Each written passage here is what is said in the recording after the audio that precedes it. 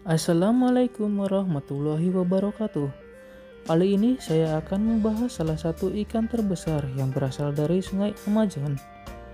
Nama yang sudah tidak asing lagi di telinga kita ya guys, yaitu ikan lele. Eits, tapi jangan salah ya guys.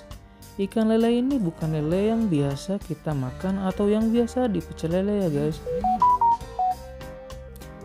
Ikan lele ini ialah red tail catfish ya guys dan tentu harga baby sampai dewasanya pun jauh berbeda. Ikan lele ekor merah Praxtocephalus hemiolioperus masuk dalam keluarga Pimelodid atau berkumis panjang. Di Venezuela dikenal sebagai kagaro dan di Brasil dikenal sebagai pirararara yang berasal dari kata bahasa Tupi Ira, dan Arara. Red tail catfish adalah satu-satunya spesies yang masih ada dari genus Bractocephalus. Ikan ini umum dalam perdagangan pasar ikan hias, salah satunya Indonesia. Meskipun ukuran dewasanya tidak cocok untuk dipelihara di akuarium, kecuali megateng. Makanan ikan ini ialah krustasea, ikan, dan buah-buahan yang jatuh. Ikan RTC ini dapat tumbuh mencapai panjang 1,8 meter dan berat sekitar 80 kg.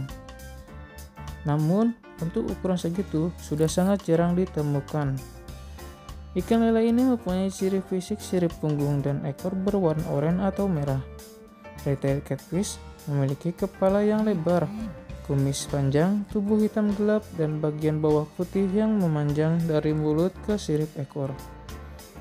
Ia memiliki sepasang sungut di rahang atas dan bawah. Kumisnya yang sensitif dan memiliki sel penerima kimia yang digunakan sebagai indera penciuman. Retail catfish berkembang biak menggunakan pemupukan eksternal setelah bertelur. Mereka, mereka berkomunikasi dengan membuat bunyi klik untuk memperingati potensi akan adanya bahaya.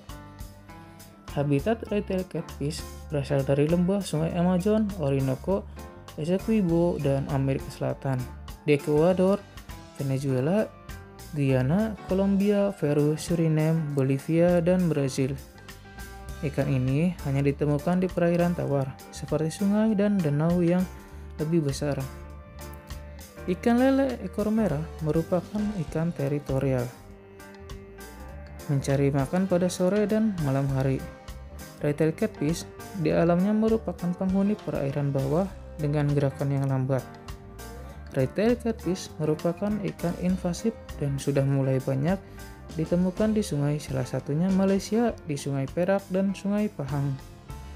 Retail catfish juga memiliki kebiasaan menelan benda-benda yang tidak bisa dimakan seperti batu aerator dan lain-lain.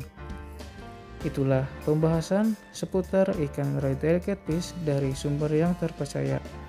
Alangkah baiknya buat para penghobi ikan predator jika sudah bosan, jangan dibuang ke sungai atau perairan yang merupakan bukan habitatnya guys. Karena suatu saat jika sudah besar akan menjadi ancaman bagi ikan kecil pribumi lainnya. Terima kasih, jangan lupa like, share, dan subscribe. Assalamualaikum warahmatullahi wabarakatuh.